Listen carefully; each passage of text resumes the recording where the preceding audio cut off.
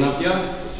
Na, szuper, kinek is Krízishelyzet napi szinten ott lehet az életünkben. Bármikor bárkit érinthet. Legyen az nyugodt, kiegyensúlyozott vagy problémákkal küzdő, frusztrált személyiség.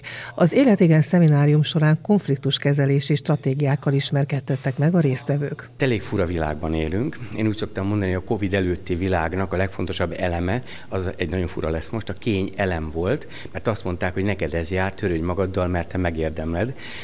És egy olyan fura világ jött létre, ahol királyok és királynők élnek. Ugye bejött egy újabb elem, ami a sérelem, mindent kikérünk magunknak. Erre rájött még egy újabb elem, a háború, a válság, és ennek kapcsán az a fél elem. Úgyhogy mi ezt egyszerűen csak gyötrelemnek szoktuk nevezni.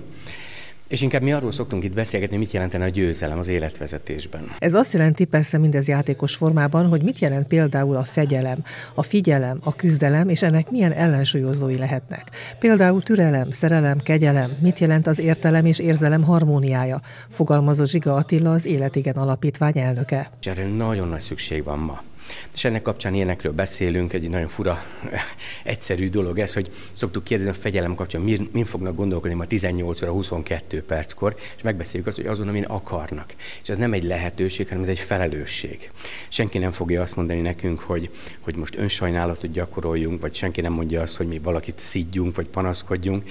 És mi szeretnénk azt, hogy értsük meg azt, hogy, hogy mi vezetjük az életünket, és itt mindenféle eszközt megkapunk ahhoz, hogy ezt jól tudjuk csinálni. Ez már a harmadik találkozása volt a pécsieknek a programmal. Az érdeklődőknek már van tapasztalata. Az előadásról, illetve tréningről kétfajta visszajelzés szokott érkezni, tette hozzá az alapító lelki gondozó. Az egyik az, amit itt azonnal látunk, nagyon lelkesek a, a résztvevők. Ugye én itt sok vállalatnál is tartok tréninget egyébként, tehát most is a mai napon is éppen egy vállalati tréningről jövök, és egyébként a vállalati tréningről is eljönnek ide még este, hozzák a családtagjaikat, de ez az egyik visszajelzés számomra, hogy igen, tetszik. De a másik visszajelzés az, amikor egy hónap múlva, két hónap múlva is még arról számolnak meg, hogy amit akkor tanultunk, azt mi használjuk, és ez az igazi visszajelzés számomra. Ez, ezt nagyon szeretem hallani, hogy valóban van értelme. Az Életigen Alapítvány országos előadás sorozata Pécsre is megérkezett, és talán sok embernek segítségére is lehetett.